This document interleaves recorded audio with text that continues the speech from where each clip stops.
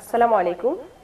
আজকে আপনাদের সাথে শেয়ার করব ছোট বাচ্চার মাথার বালিশে কাবার কীভাবে খুব সহজ পদ্ধতিতে আপনারা কাটতে পারেন। তো বন্ধুরা, আপনারা চাইলে কিন্তু এই পদ্ধতিটি শিখে বড়দের যে মাথার বালিশে কাবার আছে সেটিও একই সিস্টেমে কাটতে পারবেন। তো চলুন বন্ধুরা, এটা আমি সহজ পদ্ধতিতে কীভাবে কাটবো তা আপনাদেরকে দেখাই। তো প্রথমেই আপনারা মাথার বালিশ নেবেন এভাবে।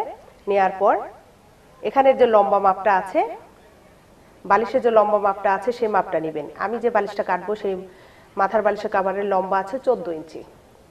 তো বন্ধুরা, এই চোদ্দ ইঞ্চিকে আমি কীভাবে যে সাইডের যে ঝালটের কাপড়টা থাকে, সেটা আমি কীভাবে নিব, সেটা একটু ভালো মতো খেয়াল করবেন। তো মূল লম্বা আছে চোদ্দ ইঞ্চি। তো এখান থেকে ঝালটের লম্বাটা দিব আমি দেড় ইঞ্চি চওড়া।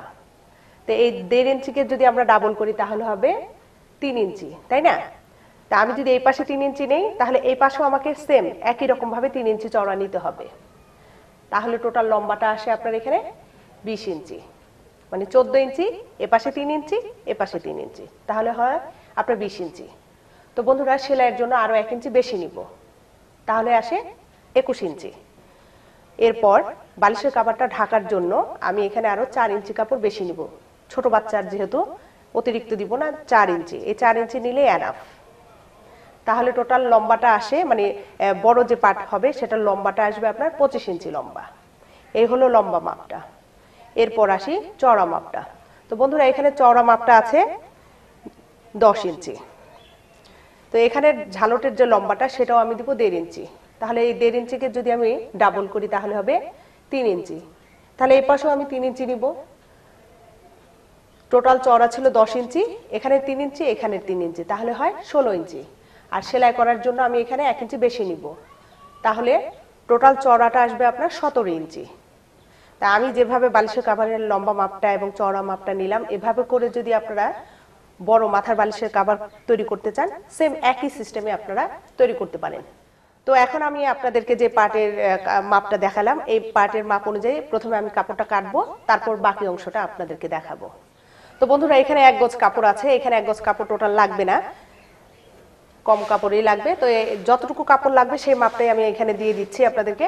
তো এখানে আমি যে কাপড়টা নিয়েছি, এই কাপড়টাকে প্রথমে এভাবে করে ভাঁজ করব। এটা হচ্ছে চড়ার যে মাপটা সেই অনুযায়ী। তো বন্ধুরা চড়া মাপটা হবে আপনার সতেরো ইঞ্চি। তো সতেরো ইঞ্চিকে যদি আমরা অর্ধেক করি, তাহলে হবে সাড়ে আট ইঞ্চি। এটাকে সাড়ে আট ইঞ্চি বরাবর আমরা ভাঁজ করে নিব। তা আমি যে পদ্ধতিটা দেখাচ্ছি, এটা আপনারা যদি ফলো করেন, আপনারা কিন্তু বড় সাইজের যে বালিশের কভারগুলো হয়, এভাবে তৈরি করতে পারবেন। এখান থেকে লম্বাটা নিব আমি পঁচিশ ইঞ্চি বরাবর। এই পঁচিশ ইঞ্চি বরাবর এই দাগটাকে এইভাবে করে দিয়ে দিব। আর এখানে যে আমি ভাঁজটা করেছি, এই ভাঁজ বরাবর আমি কাপড়টা কাটবো। তো প্রথমে আমি এই কাপড়টা কেটে আলাদা করে নিব।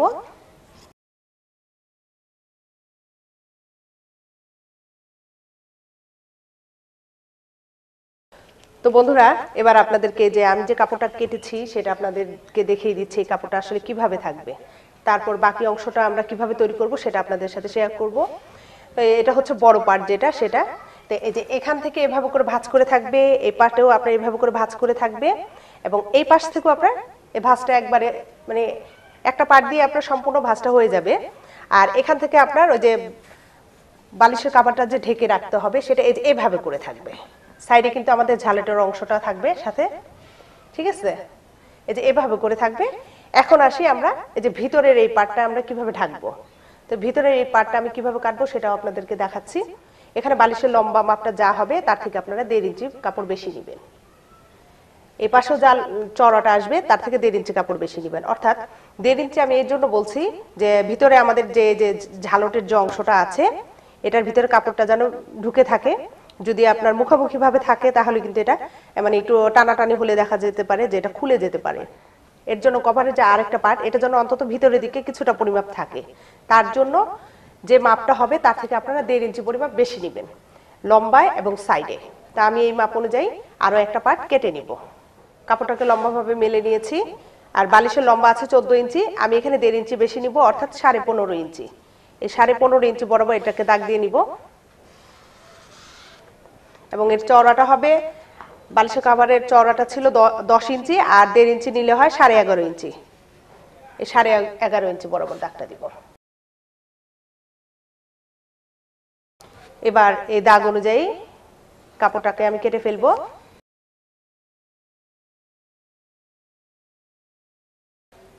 তা আমি দাগটা দিলাম না, সোজাভাবে কেটে ফেললাম। আপনারা চাইলে দাগটা দিয়ে নেবেন। ছোট বালিশ, এর জন্য মানে সমস্যা হবে না। মানে মাপটা আপনার সমানভাবে আসবে, বড় হলে এটা দাগ দিয়ে নেওয়াই বেটার ছিল। তাহলে আপনাদেরকে এবার দেখাই এটা আসলে কীভাবে থাকবে। এই যে, বড় যে পার্ট আছে সেটাকে যেভাবে করে রাখব, এ পাশের এই পার্ট এভাবে করে থাকবে, বালিশটা এভাবে করে থাকবে, তার উপরে এই যে যে ছোট যে পার্ট আছে সেটা এই যে এভাবে করে থাকবে। এবং এই পার্টগুলো প্রতিটা পার্ট এই যে এটার ভিতরে এভাবে করে থাকবে। এই যে এভাবে করে মুড়ে ভেঙে ভিতরে ঢুকিয়ে দিতে হবে। আর এই যে এখানে যে বড় পার্ট আছে, সেটা কিন্তু এই যে এভাবে করে থাকবে।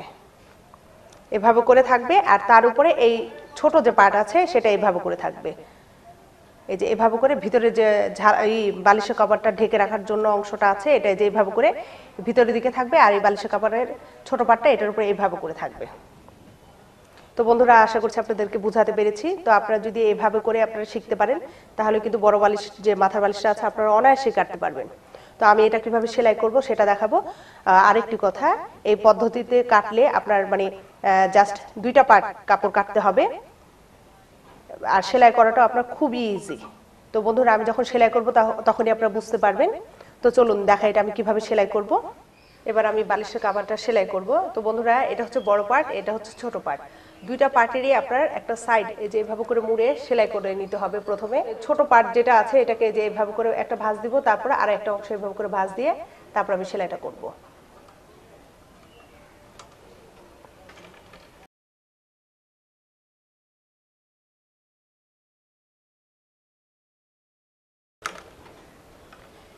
এই বড় পার্ট যেটা আছে এটাকেও এইভাবে করে সেলাই করে নিব।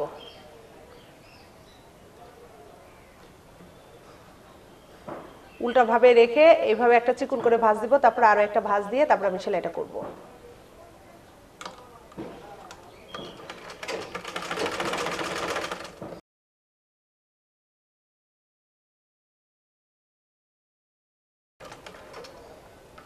তো বন্ধুরা, আমাদের এই কাবারটি কীভাবে থাকবে সেটি আপনাদেরকে দেখিয়ে দিচ্ছি। এই যে এইভাবে করে ভাজের অংশটা থাকবে, যেটা বাড়তি ভাবে মানে বালিশের কাবারটাকে ঢেকে রাখবে, সেটা প্রথমে এইভাবে করে ভাজ করে নিতে হবে। তার উপরে এই যে সাইড যে সেলাই করেছি যে অংশটা, এই যে এটা এটা এই যে এভাবে করে উপরের অংশে এভাবে থাকবে। তো আমি এখন এটা কীভাবে সেলাই করব সেটা দেখাই। সেলাই করলে আপনারা বুঝতে পারবেন। তো আমি এই ভাজে ভাজে এইভাবে করে রাখব। তো এবার আমি এটা কীভাবে সেলাই করব? সেলাই করলে আপনারা বুঝতে পারবেন। তো আমি এই যে ভাজ যেটা করেছি এখান থেকে প্রায় দেড় ইঞ্চি পরিমাপ এভাবে ঝালটের জন্য সেলাই করে নিব প্রথমে এটা।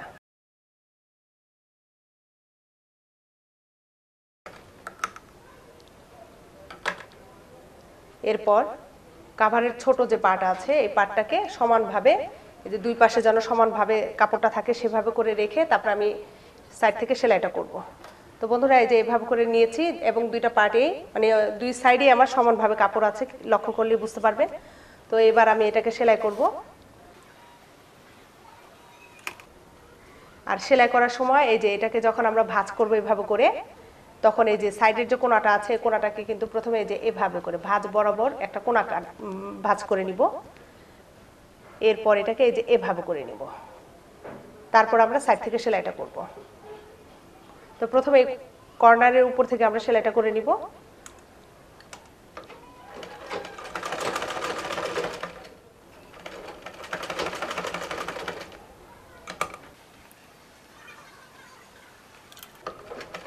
যখন এই পাশ থেকে সেলাইটা করব, তখন কিন্তু সেলাইটা একটু ডাবল করে দেয়া লাগবে।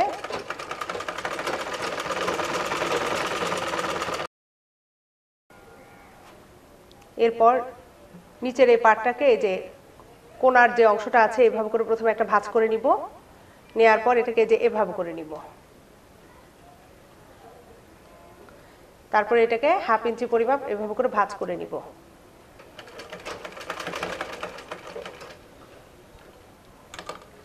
এরপরে কোনাটা আমরা এইভাবে করে সেলাই করে নিব।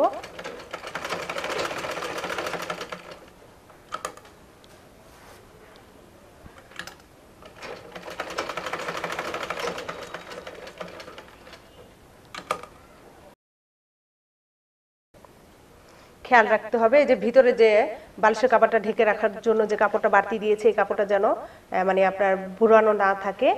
তো এই অংশটাকে যেভাবে করে তারপর ভাজ করে নিব।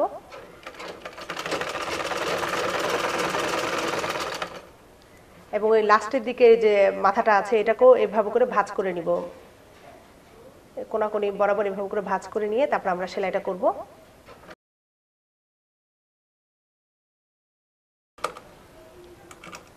এরপরে কোনাটা সেলাই করতে হবে।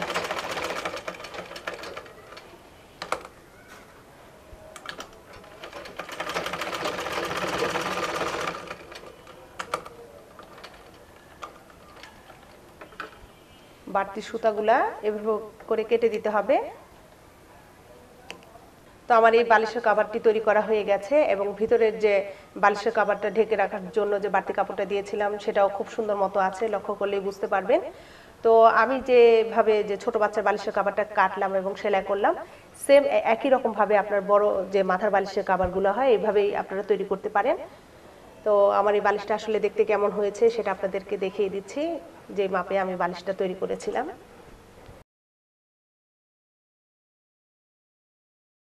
তো বন্ধুরা, আমার এই বালিশের কাপড়টি তৈরি করা হয়ে গেছে। তো দেখতেই পাচ্ছেন, আমি যে বালিশটার জন্য তৈরি করেছি, এটাকে যেভাবে করে রেখেছি।